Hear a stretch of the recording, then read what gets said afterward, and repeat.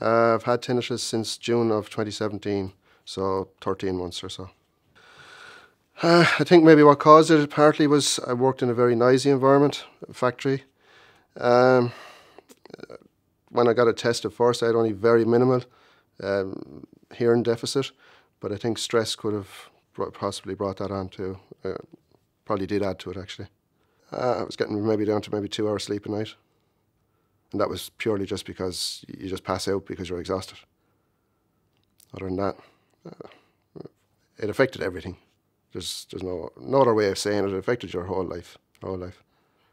Um, I went to the same specialist twice, and he just said, "Look, Ken, I don't know why you're here the second time because there is nothing I can do for you." At that particular point, I kind of I got really bad because it was still screeching at an eight, and I kind of needed somebody to say, "Well, this is what we can do, or this is the way we can manage it."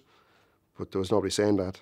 And then I heard about the, the trials, clinical trials came up.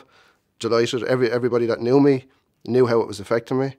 They said you have to apply, you have to apply, and it was on the radio. And I applied, kept my fingers crossed, and got selected. And I haven't looked back since. It's great.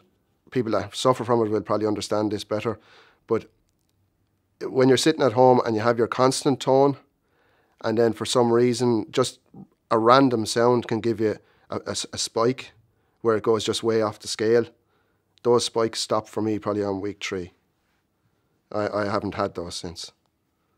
Like uh, something simple as you go to the fridge and uh, you know you have your plastic um, yogurt cartons and you have to snap them.